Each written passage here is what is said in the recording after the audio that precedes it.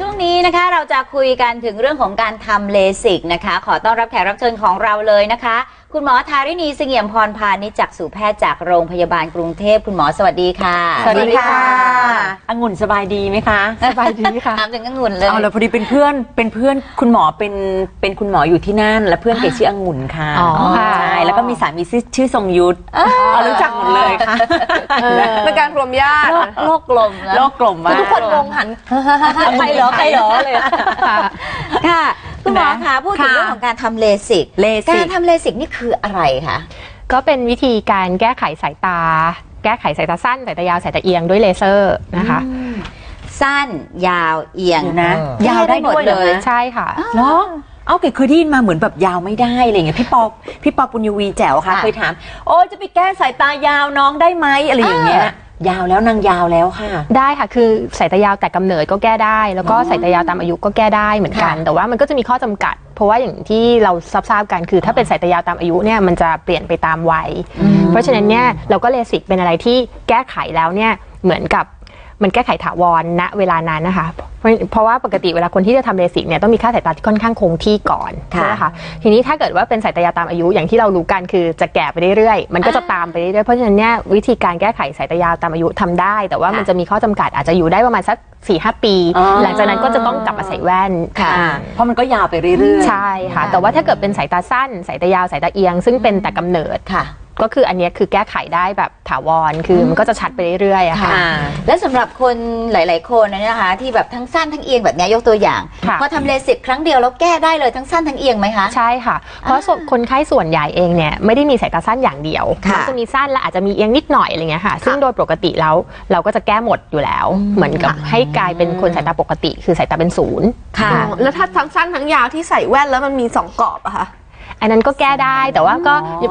คือคือวัยที่เป็นเกิน 40อะค่ะ จะมีปัญหาก็คือมองไกลจะต้องใช้กำลังหนึ่งมองใกล้ก็ต้องใช้กำลังหนึ่งซึ่งเหมือนกับแว่นต้องเป็นแว่นสองชั้นใช่ไหมคะค่ะทีนี้ถ้าทำเลสิกเองในกลุ่มที่เกิน 40 ไปแล้วเนี่ยก็ทำได้เหมือนกัน แต่ว่ามันจะมีข้อจำกัดก็คืออาจจะทำเพื่อให้มันมองไกลชัดไปเลย แล้วก็มาใส่แว่นอ่านหนังสือเอา หรือไม่ก็คือใช้อีกวิธีหนึ่งก็คือเป็นเหมือนวิธีที่แก้ไขสายตาตามอายุไปได้ด้วย พร้อม ๆ กันก็คือหลักๆ มันจะเหมือนกับแก้ข้างหนึ่งเพื่อให้มองไกลชัด ส่วนอีกข้างหนึ่งอาจจะเก็บไว้เพื่อให้มันอ่านใกล้ได้อะไรประมาณเนี้ยค่ะ เพราะฉะนั้นมันก็คือจะใช้สองตาร่วมกันแล้วอ่านได้ค่ะแต่มันก็จะมีข้อจำกัดบางคนก็ไม่ชอบเพราะรู้สึกว่ามันแบบมันไม่ธรรมชาติ เพราะว่าจะชัดก็ไม่ชัดแจ๋วซะทีเดียว มองไกลก็ไม่ได้ชัดแจ๋วมองใกล้ก็ไม่ได้ชัดแจ๋วแต่ข้อดีก็คือว่า มันยังเหมือนเป็นสาวๆอีกครั้งหนึ่งก็คือไอ้ยหยิบขึ้นมาก็ยังมองเห็นอะไรเงี้ยค่ะ มองไกลก็ได้มองใกล้ก็ได้โดยที่ที่ไม่ต้องคว้าแว่นมา เพราะว่าคนไข้บางคนจะบอกว่าแบบเสียจริตมาก เนื่องจากว่าเวลาที่คนยื่นนำบัตรมาให้ มองไม่เห็นเลยค่ะแทบจะต้องเอาไปแบบยืนไกลมากไว้บนพื้นใช่พอหลังจากทำเลสิกแก้ไขสายตายาวพวกค่ะพวกกลุ่มเนี้ยเขาก็จะรู้สึกเขา happy ขึ้นอ่าเอออะไรประมาณเนี้ยแล้วแล้วขอขออนุญาตนะคะคือค่ะแล้วมันมันมองเห็นแล้วมันไม่รำคาญแล้วคุณหมอเพราะว่าข้างหนึ่งมันก็ยังมีสั้นอยู่ และข้างหนึ่งก็แก้แบบนี้ใช่ไหมคะอืมคือแทนที่คือจะชัดไปเลยหรือไม่ชัดไปเลยสองข้าง คือโดยปกติเนี่ยค่ะ ถ้าจะทำถ้าเป็นกลุ่มเอ่อ40 up เนี่ยค่ะ ก็ เวลาตอนตรวจประเมินนะคะ ก็คือต้องลองแว่นว่าถ้าเกิดลองแล้วเป็นอย่างเงี้ยชอบไหมเพราะอย่างบางคนเนี่ยจะไม่ชอบอะค่ะ เพราะว่าเหมือนอยากให้มันชัดไปเลยค่ะจะชัดก็คือจะให้ไกลชัดก็ชัดไปใกล้ก็คือไม่เป็นไรฉันใส่แว่นได้ แต่อย่างบางคนที่ถ้าหมอลองแว่นละแล้วเขารู้สึกว่า เออโอเคอยู่ได้ อยู่ได้ พวกนี้เขาก็จะเขาก็จะตัดสินใจว่าเขาจะแก้ไขมันจะเป็นวิธีที่เรียกว่าเป็นหลักๆ ก็คือเป็นเหมือนคล้ายๆเขาเรียกว่าเป็นโมโนวิชันนะคะคือตาหนึ่งชัดไกลตาหนึ่งชัดใกล้นะคะค่ะและที่ผ่านมาเนี่ยลักษณะของการทำเลสิกเนี่ยมีกี่แบบคะคุณหมอคะคือการทำเลสิกเองเนี่ยหลักๆก็คือเอ่อปัจจุบันเนี่ยมีอยู่ 2 แบบหลักๆ ก็คือกลุ่มที่ใช้มีดนะคะกับ ตัวที่ใช้เลเซอร์ค่ะคืออย่างถ้าถ้าย้อนกลับไปในอดีตเวลาทำพูดถึงเลสิกอะค่ะ ก็จะประกอบไปด้วย 2 ขั้นตอนใหญ่ๆ คือขั้นตอนแรกคือแยกชั้นกระจกตา ส่วนค่ะบนประมาณสักเอ่ออย่างในรูปอันนั้นก็จะเป็นแยกชั้นกระจกตาด้วยมีดนะคะค่ะคือเปิดออกมา แล้วก็ดูมีดมันจะคล้ายๆเหมือนกบเหลาดินสอกบใส่ไม้อะไรเงี้ยค่ะค่ะอาจจะดูน่ากลัวนิดนึงนะคะ พอค่ะแยกชั้นกระจกตาเสร็จปั๊บเนี่ย เราก็จะเปิดฝากระจกตาขึ้นมา แล้วก็ยิงเลเซอร์ ซึ่งตรงนี้เองเนี่ยก็คือแล้วแต่ว่าเราสายตาสั้นสายตายาวสายตาเอียงนะคะค่ะก็จะแก้ไขด้วยเลเซอร์ คือถ้าเป็นสายตาสั้นก็คือยิงให้กระจกตามันแบนลงค่ะนะคะ เพื่อเหมือนคล้ายๆเลนส์เว้าที่เราใส่เป็นแว่นนะคะค่ะหรือว่าถ้าเกิดว่าเป็นเอ่อสายตายาวก็คือจะยิงเพื่อให้ตรงกลางมันโค้งมากขึ้นอะไรอย่างเงี้ยนะคะเหมือนที่เราเรียนกันตอนเด็ก ๆ ว่าเราใส่แว่นเลนส์นูนเลนส์เว้าประมาณนั้นมันยิงเสร็จแล้วก็ปิดกลับเข้าไปให้นูนขึ้นได้ด้วยเหรอคะใช่ก็คือถ้ายิงรอบๆอะค่ะ คือยิงหมุนรอบรอบๆเนี่ยตรงกลางมันก็จะเหมือนเทียบแล้วมันก็จะเหมือนนูนขึ้น เพราะตรงข้างๆมันเหมือนยิงให้แบนลงใช่คือถ้าเป็นสายตายาวตาม คือถ้าเป็นสายตายาวเนี่ยเวลาเรายิงเราจะยิงแบบนั้น และอันนี้ะคะอันนี้คืออะไรอันนี้คือวิธีเรียกว่า PRK นะคะค่ะคือถ้า PRK เนี่ยก็คือจะเหมือนยิงลงไปตรงๆเลย คืออใช้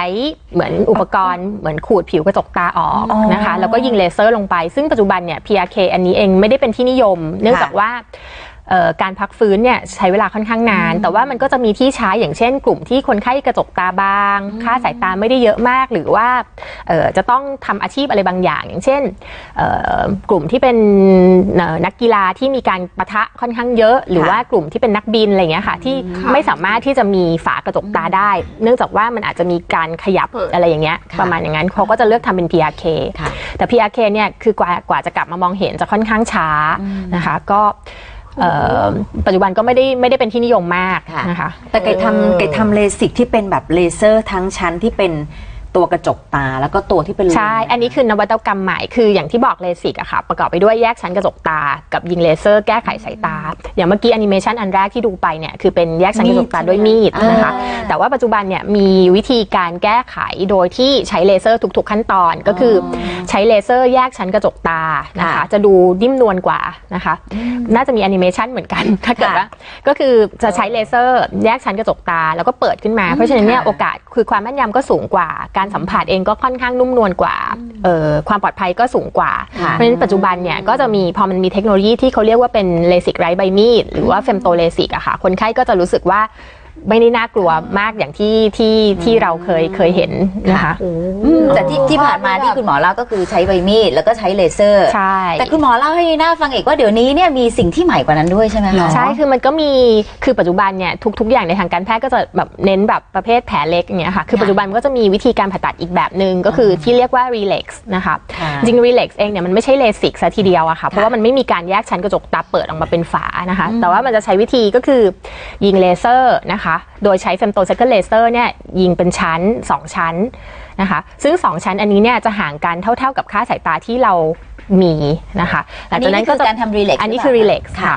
ก็คือหลังจากนั้นก็จะเปิดแผลเล็กๆนะคะ แล้วก็หมอก็จะใช้เหมือนเป็นฟอร์เซปอะค่ะคีบ ไอ้ตัวเนื้อกระจกตาที่เราแยกชั้นเอาไว้นะคะ ซึ่งก็จะเป็นการรักษาสายตาคืออันที่เอาออกมาจากตาเองเนี่ยก็คือจะเป็นคล้ายๆเหมือนเวลาถ้าเราทำเลสิกมันก็จะหายไปเวลาที่ที่เรายิงเลเซอร์แล้ว คือเหมือนกระจกตาเราหายไปอะค่ะ ค่ะาแล้วการทำ relax เนี่ยมีมีข้อดีกว่าการทำเลสิกแบบดั้งเดิมเนี่ยยังไงบ้างคะคุณหมอ ก็คือด้วยความที่แผลมันเล็กนะคะค่ะเพราะฉะนั้นเนี่ยเรื่องตาแห้งก็จะน้อยกว่านะคะ แล้วก็คือมันมีการทำการศึกษามาค่ะว่าการที่มีการตัดกระจกตาเองเนี่ยมันทำให้ความแข็งแรงของกระจกตาเนี่ยแย่ลงกว่าเดิม ค่ะ เพราะฉะนั้นเนี่ยการที่มีแผลเล็ก ก็คือ relax เองเนี่ยแผลจะประมาณเอ่อ4มิลนะคะค่ะถ้าเทียบกับเอ่อตัวเลสิกเองเนี่ยเลสิกเนี่ยแผลประมาณ 20 มิลอ่าเพราะฉะนั้นเนี่ยความแข็งแรงของกระจกตาก็จะดีกว่านะคะอ้าวมันแล้วจะพูดเกิดแผลเนอะแล้วแผลพูดมัถึนน้อยกว่า จะพูดถึงการทำเลสิกเนี่ยนะคะค่ะทั้งแบบใช้ใบมีดแบบทำเลเซอร์ แล้วก็แบบใหม่ล่าสุด ซึ่งก็คือ ReLEx เนี่ยใครทำได้บ้าง ใครทำไม่ได้บ้าง ก็จริงๆเอ่อกลุ่มคนที่จะทำได้เนี่ยจะคล้ายๆกันคือ relax มีข้อจำกัดนิดนึงก็คือ สามารถทำได้เฉพาะสายตาสั้นกับเอียงค่ะนะคะคือจะเป็นสายตายาวเนี่ยยังทำไม่ได้นะคะแล้วก็ทั้งไม่ว่าจะทำเลสิกทำ relax หรือว่าทำ Femto LASIK คือเป็นเลสิกไร้ใบมีดจริงๆก็ควรจะเป็นคนไข้ที่อายุเกิน 18 แล้วก็คุณส่วนส่วนใหญ่ range จะอยู่ประมาณเอิ่ม18ถึง50นะคะเพราะว่ากลุ่มนี้เองเนี่ยจะเป็นกลุ่มที่ดู healthy แล้วก็มีค่าสายตาที่ค่อนข้างสัดค่อนข้างคงที่นะคะอ๋ออันนี้เป็นเป็น Femto LASIK นะคะเป็นตัวเลสิก อันนี้ ก็คือทำเลสิกโดยใช้เลเซอร์ ใช่ใช่ไหมค่ะคะอันนี้คือเมื่อกี้คือยิงเลเซอร์ใช่ไหมคะแล้วก็เปิดฝากระจกตาขึ้นมาประมาณนั้น ทีนี้ค่ะถ้าเกิดว่าเอ่อใครที่ที่เหมาะสมนะคะ ก็คือต้องเป็นกลุ่มที่ค่าสายตาคงที่แล้วนะคะ เมื่อกี้ที่หมอบอกไปว่าเอ๊ะ ถ้าเกิดค่าสายตาไม่คงที่ยังทำไม่ได้เนื่องจากว่ามันเป็นการแค่ไขแบบถาวรค่ะนะคะเพราะฉะนั้นเนี่ยถ้าเกิดสมมติว่าค่าสายตาเรายังเปลี่ยน เราทำณจุดนี้ค่าสายตามันยังเปลี่ยนอยู่ประมาณนั้น ทีนี้ในในปีหนึ่งที่ผ่านมาอาจจะมีค่าสายตาเปลี่ยนไม่เกินสักประมาณ 50-75 แต่พวกนี้เองเนี่ยปกติหมอก็จะดูอะค่ะจากเวลาที่เรามาตรวจประเมินนะคะว่าค่ะแว่นเดิมที่ใส่คอนแทคเลนส์ที่ใส่เราใส่อยู่ประมาณ power เท่าไหร่อะไรประมาณนั้นนะคะแล้วมีหลาย ๆ คนฝากมาถามบอกโอ้โหคุณหมอบอกว่าเอ่อแบบอายุที่ดีก็คือ 18 ถึง 50ค่ะแล้วถ้าเกิดผม 60 70 80 แล้วทำได้ไหมเลสิกะคือกลุ่มที่อายุเยอะเองเนี่ยค่ะไม่ใช่เป็นเอ่อกลุ่มคนที่เป็นกลุ่ม ที่ควรทำซะทีเดียวเนื่องจากว่าอย่างสมมติถ้าเรา 60 70 80 แล้วเนี่ยอาจจะมีเรื่องต้อกระจก หรือว่าอาจจะมีโรคอะไรบางอย่าง ซึ่งเป็นข้อห้ามอย่างเช่น ถ้ามีต้อหินค่ะนะคะ หรือว่ามีต้อกระจกแล้วเนี่ยก็คือควรจะต้องไม่ควรทำแล้วอะค่ะนะคะ เพราะว่าก่อนตรวจเอ่อ